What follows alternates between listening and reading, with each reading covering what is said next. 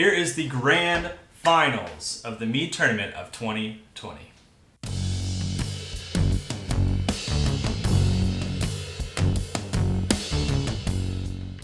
Hey, this is Man Made Mead. Today we're finishing out the Mead Tournament of 2020. If you are familiar with the channel, you might have seen the 2018 Mead Tournament, and it took me a couple years, but here we are. In 2020, I have faced 16 of my newest, some of my newest meads, and some of my old meads um, in to this tournament. And uh, I included the winner from the 2018 meet and the runner-up. Um, however, they have not made it this far. So we are now going to be crowning a new champion at the end of this video. Here's currently what the board looks like. Here's the board currently. You can see that I will include all of the names, everything that's been knocked out, and everything that is currently still active. We are left with Mead's number 12 and Mead number 16 as the grand finalist uh, competitors. So, um, of course, I want you to, in the comments, predict who you think will win, because I think that would be really interesting. But we're going to go ahead and get started. And this round's going to be really hard because we've dictated or we've broken down these meads into our personal favorites. And while there has been, um, we've we've talked about reasons why we prefer some others over others. Uh, I think we've come down and, and, voted that these two are the best ones. Um, so this is going to be really tough. Let's go ahead and, and do it. This is mead number 12 versus mead number 16.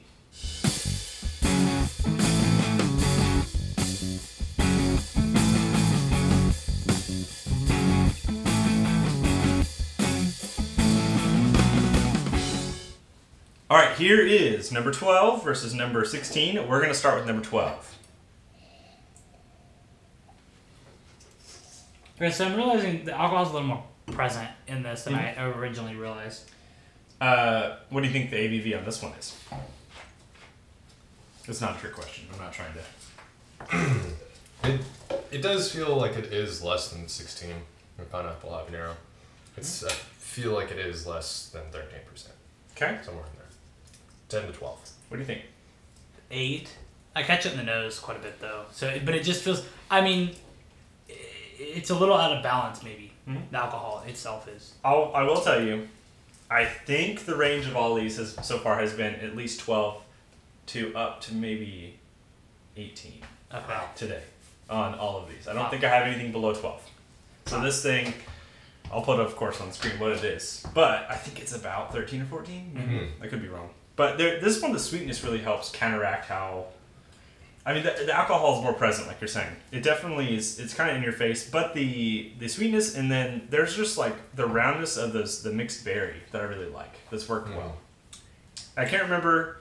I should know this, but I made two of these mixed berry meads. I used like a berry medley from Sam's for one, and then I also used like a fake amaretti, like uh, not fake, but a alternative flavoring for mixed berry. So I think this one was from my real berries I put in. I like it. I think it's good. Um, we're gonna put it up here. It's in the green slot. In a moment, what we're gonna do, we will be voting um, on which one we think is the winner. And the reason, of course, there's three of us is because I wanted to bring friends into this, but it's helpful to also have some more um, voting power and input. So let's move on now to mead number 16 here we are.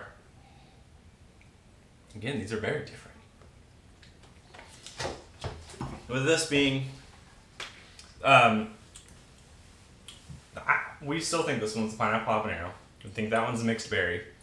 If we're wrong, then something's that, wrong. well, the funny thing is, in the 2018 tournament, I got all the way to the grand finals. I didn't know what the the um, I knew what the peppermint was, but the other one, which was apple cinnamon, I didn't know what it was. and I like I ended up crowning it winner and then having to go back and find out what it was. So it's funny that we know what this is mm-hmm. this time. I like this one. It's very smooth. I feel like they have similar alcohol burn though.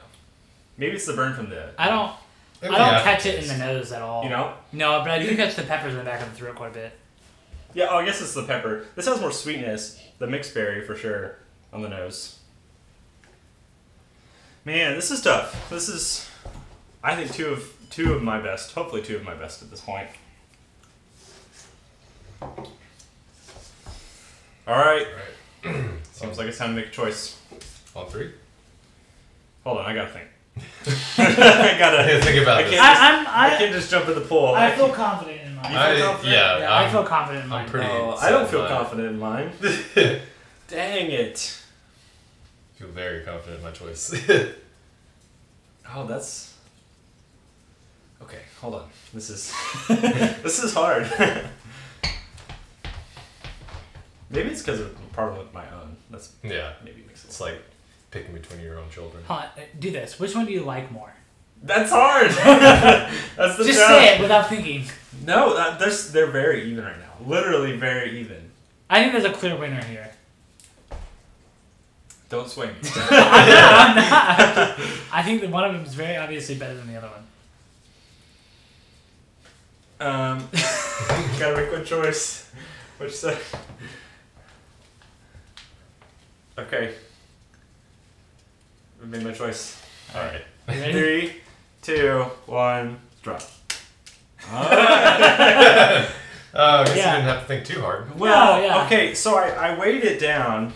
Um, I feel like I like the mixed berry, but this is much smoother. Mm-hmm. Like it's much smoother. It's got better honey character, in my opinion. It's just got a better still, balance. Like it's still niche though, is, but I like that. I like the fact that. Yeah, The, Yeah, not everyone's gonna like the habanero. Yeah. yeah. I just, I, it's grown on me. Mm-hmm. Um, it's definitely better than the last time I had it a few Mhm. months ago. Um, if I don't know if it was the same batch. That was or- a different one actually. I Okay. think than what you had before. But- yeah, the other one was like way peppery, like over I- overwhelmingly peppery. Yeah. So, the mead winner of the 2020 tournament is the mead number 16, which we believe is the pineapple habanero, and I'm fairly confident in that, and I think we're all fairly confident in that because uh, it's hard to miss a habanero pepper. But that is crowned the winner of this, and um, again, this has been very interesting because if you can see the board, we we had the um, some winners from the previous tournament occur, and we also had some. I, I'm very surprised that some of them didn't make it further. In fact, um, what I want to do is I want to talk about here in a second, in um, kind of like a little after show uh, about some things that might have surprised us about this tournament. But this thing is really, really good. And if you picked the pineapple habanero to win the whole tournament, then man, awesome job. I would love to hear what you thought was going to win it. Um, it's interesting. It, that's that's kind of the fun of this. So, man, I, I'm just very shocked. Thank you guys for watching. Um, if you want to go check out the 2018 tournament, I of course that's on YouTube, and I'll put a link to that. There is a link to the other videos, the quarterfinals, semifinals, and finals. Um, if you want to see the kind of after show uh, as we talk about a little bit of this process and um, you know maybe some things that surprised us, I'll have a video about that. But I appreciate you guys taking your time. Go check out the other videos if you haven't, and I'll see you guys next time. Cheers.